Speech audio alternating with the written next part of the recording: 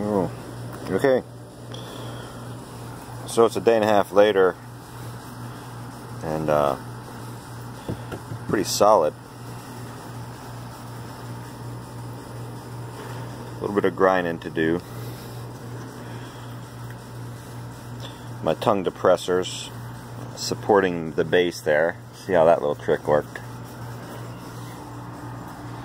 Side looks good too. I don't really think I need any more glass. I may come back and ferret. It. I may put some uh, lightweight cloth over it just to give it a little bit more uh, smoothness. But that'll I'll be using the lightweight cloth on the sides here anyway. So.